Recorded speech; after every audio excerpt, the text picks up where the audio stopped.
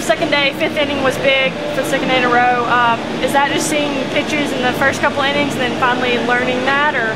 Well, you know something, we have a saying on our team, the longer we play, the better we get. You know, we really believe in that. And, and uh, you know, we just kept pounding away. I mean, those young pitchers, I, I just talked to Caylan and I really, Caylan won that game for us. She was great.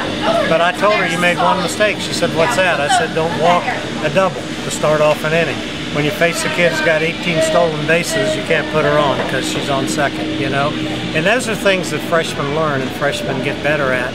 But again, we wouldn't have won the game without her. She came out on fire and pitched really, really well. But they have to learn every day at this level because it's a tough level. What were Matty and Caylan doing right today? 11 strikeouts between them, only two hits for Ole Miss. And you know, Ole Miss came in here as the, one of the top offensive teams in the SEC. I think Matty and Caylan are, are maturing, but you know, this is a process. Like the pitcher that pitched for them, Finney, has been around a while. She pitched at Oklahoma last year, you know, and so uh, it's it's just a process. And, and they threw strikes for the most part.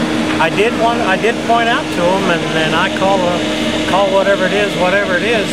They had four walks and only two hits. So actually, we gave him four hits because that's what a walk is. A walk is a hit, you know. And we're striving to cut down on the walks and cut down on the free passes, but they're doing a good job, and I couldn't ask for anything more. Do you like what you're seeing from your offense?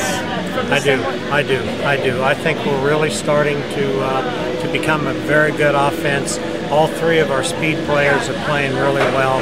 Vines has legitimate home run power, even though several of her balls have just been off the fence. She can she can hit it deep, and uh, but you know, our offense is no better or no worse than a lot of the teams in this league. There are a lot of very good offenses in this league, and, and our offense has just got to produce, you know, and, and they're doing it right now. What does it mean to get off to such a strong start in SEC play, a league that you call probably one of the best in the nation? Well, I think everybody calls it one of the best in the nation. but That's okay, you know, but um, we're, we're okay. You know, we we I don't say we're getting off to a rocket start, but we're winning more than we're losing, and that's again.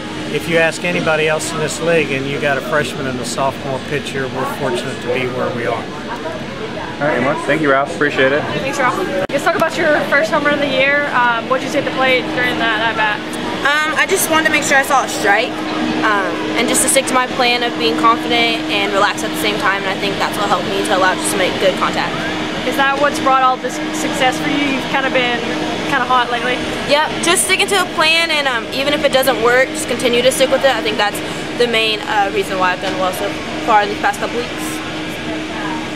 Are there any adjustments that you've made over the past couple weeks? Um, um just keeping my hands back. Um, I think staying in your legs is always a good thing to do.